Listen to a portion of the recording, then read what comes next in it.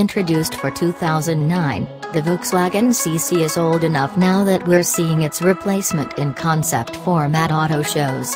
That show car marks a revival of the four-door coupe pretense that the current marketing pretty much abandoned after 2013, which is when a third seatbelt was added to the rear bench and the styling was amended to share some cues with the US-built Passat.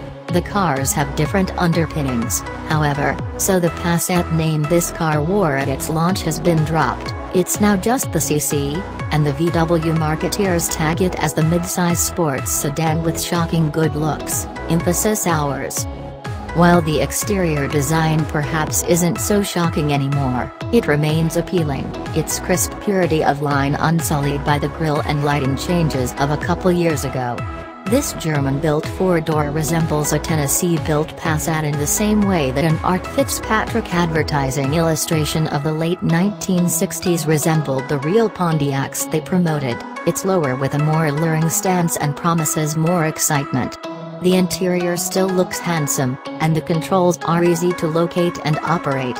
We've never warmed to the metallic trim strip that spans the dashboard, and the control layout belies the car's age, which some of us, frankly, find appealing in its relative simplicity when compared with the clutter of some more modern designs. The CC is also more engaging to drive than your standard family sedan, as you'd expect from a car with a base price fully 50% higher than that of the lowliest Passat.